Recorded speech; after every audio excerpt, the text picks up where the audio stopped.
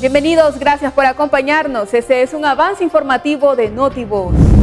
Esta mañana, en las inmediaciones del mercado Roberto Güembes, el cambista Oscar Samir Real Herrera fue asesinado por un grupo de delincuentes. Pobladores de los municipios que serán afectados con la ruta que tendrá la construcción del canal interoceánico llegaron a la curia arzobispal para exponer su preocupación por la expropiación de sus tierras.